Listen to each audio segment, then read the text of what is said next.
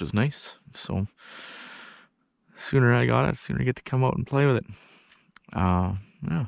So, anyways, folks, uh, you know, if you want, you can like, subscribe, all that. You know, whatever everybody else is asking you all to do. And um, I'm just gonna keep trying to give you some videos, just an honest, uh, just real kind of opinion of what I think. Uh, go from there. You know, I don't really have an agenda when it comes to shooting. I just love to shoot. Just love to shoot. So, um, barrel's a little warm, but yeah, I don't know. Get out there and uh, get a range membership.